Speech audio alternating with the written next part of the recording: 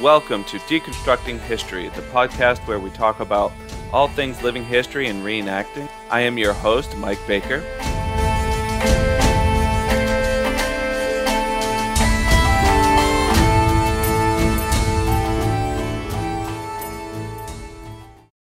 In today's episode, I want to start a series of podcasts and hopefully in the future some videos uh, to help give uh, shape and form to this idea of research. And what is research? How do we conduct research in order to craft our portrayals? And sort of go through a step by step process in each video. In our first episode of Deconstructing History, I asked our panel a relevant question to reenacting. I had asked them, What does go do your research mean to you? Many times, when you search through the numerous reenacting forums or a reenacting group social media, go do your research is a common response to questions. This response is often made towards new or green reenactors. Uh, the statement is even sometimes used in response to a query by a veteran reenactor. On its face, it seems that go do your research is a reasonable response uh, to any question from a person or a reenactor. But one consensus that was reached by my guests, and a belief I personally hold, is that go do your research without any guidance or clarification or training is not only very unhelpful, it might even hurt the hobby of reenacting and living history. Researching, like other skills, often require training and practice. For the population of new reenactors, I would wager that a small minority of them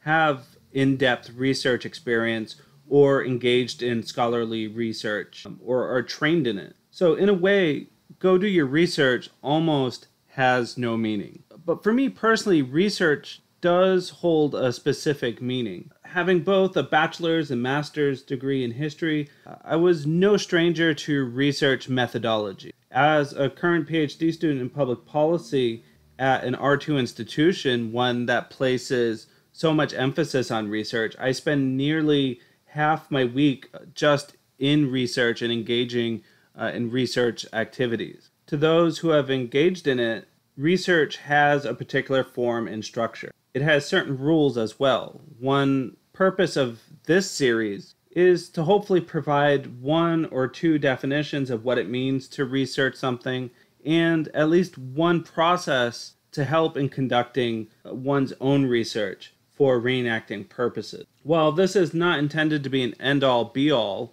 I think it may be helpful to break down what we mean by research and provide structure. In this series, I would also like to talk about some of the pitfalls to avoid and some practical skills so that your own research process may become more industrial. Finally, I also will use some of my own projects to provide some context and a real world example uh, for this methodology. In terms of thinking like a historian or researching and writing like one, I do have some texts I recommend. These are works that I had used in my own university career, and they also helped formulate my own personal methodology for researching my reenacting portrait. Now, small disclaimer of course, you don't have to prescribe to just my method um, or anybody else's. Some people may find different methodologies uh, better than others. Now, my method, uh, this may help up and coming reenactors or those uh, without any research background to have something to see while developing their own methodology. It may create some foundation or framework uh, that can be built upon or altered uh, later. In terms of text, first, I do recommend Writing History by William Kelleher Storey, followed by The Historian's Toolbox, uh, written by Robert C. Williams, and A Pocket Guide to Writing in History by Mary Lynn uh, Rampolla and finally, The Information Literate Historian by Jenny L. Presnell. Um, it is kind of interesting to think about reading books on reading books, but I believe these are um, very important resources to use. Uh, they're very inexpensive, and uh, I will drop links down in the description for this episode for them. But I do recommend uh, getting a hold of them and referring back to them on occasion. Uh, separately, these works are fine, but together they provide a, a fantastic amount of information in conducting serious and in depth research, especially for uh, reenactors. They also offer their own tips and tricks and ways to avoid the pitfalls while researching, which uh, these pitfalls may hinder you. They could also waste your time. So uh, these are excellent trips tricks to to consider. Finally, while not meant for uh, historical research, I do recommend uh, case study research and applications by Robert K. Yin. Uh, even though it's a social science text, um, and I've used it in my PhD career, I find it uh, that some of the tips Yin provides, uh, I think, are also applicable to uh, research for reenactors, especially if we consider our portrayal a type of case study. Now, research can be broken down into stages. Uh, sometimes you are able to revisit a previous stage, and each stage can have their own smaller steps uh, within. In researching for reenacting, the final product can also be much different than, say, if you were publishing an academic paper or a book or a panel presentation. Instead, you may be collecting information in order to create uh, one of your portrayals. You may be getting information so that you can craft a presentation for the public. You may be taking up a historic craft and you're experimenting on historic techniques. Research methodology can be adapted to these endeavors. Now, a simplified overview of the stages that are adapted for reenacting, or, or my own methodology is as follows. First, you do want to develop your interest or topic and narrow this down. Second,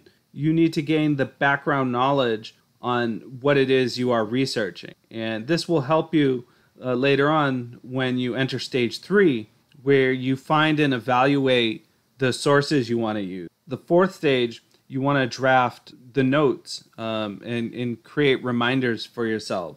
And uh, finally, after you get enough information and notations, you may want to start your project. Now, say you want to join a reenacting group and you want to create a portrayal. Now what? There are millions of websites, forums, books, merchants, all at your fingertips. And I believe this can be intimidating at times and sometimes confusing with having access to all this information and being bombarded uh, with sources. So, where does one start? By applying a methodology or framework, a researcher can stay on track and can always return back to uh, this framework in order to remain organized and um, to sort of see where they're at.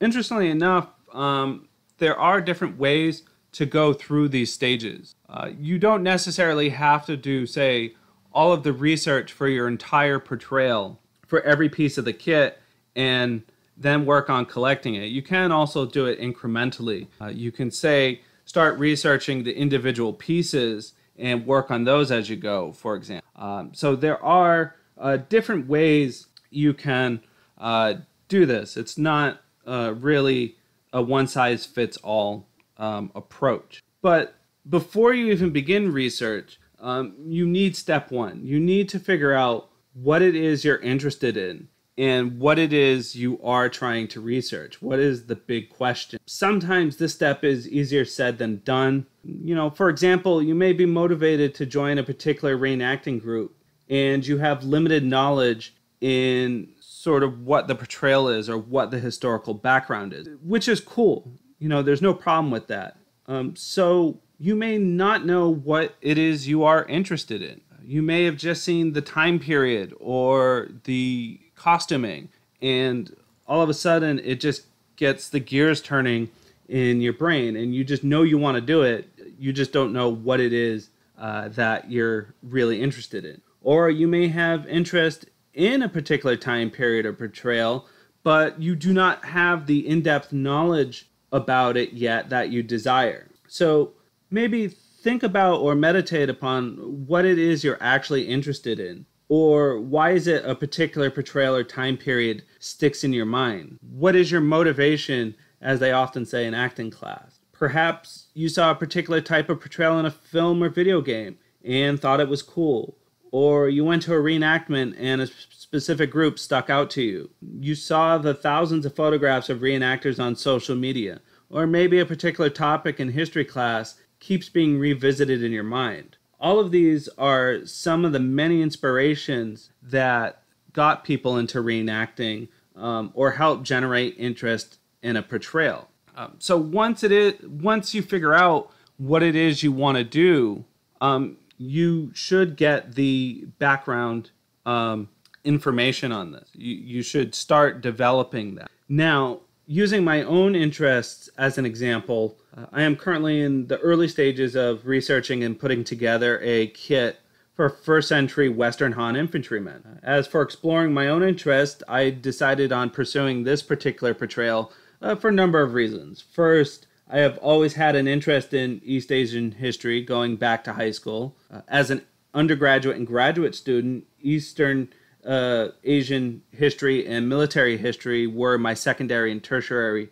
uh, fields of study. Uh, even now that I switched to being a policy scholar, some of my policy interests involve the Central and East uh, Asian countries. As a volunteer for the Arms and Armor program at the Worcester Art Museum, I believe that there could be more programming for East Asian arms and armor uh, to complement their current collection. As well as accentuate their first century Roman program to act as sort of a cal- counterbalance. Also, seeing some of the portrayals of East Asian foot soldiers in Canada and China, I think it's interesting and exciting. So, there are a few of my reasons for de- developing uh, this type of portrayal. And so, again, you kind of want to understand what it is that you want to research. Now, once you figured out what it is you're interested in or what the major question uh, that you want to answer in, in terms of uh, your research, whether you're doing an entire portrayal or just researching parts for your kit, uh, whatever your project is, uh, the next step is to have the necessary background reading in it. And so that will be um, step number two, which I'll go into more depth uh, in our next part of the series. So until next time.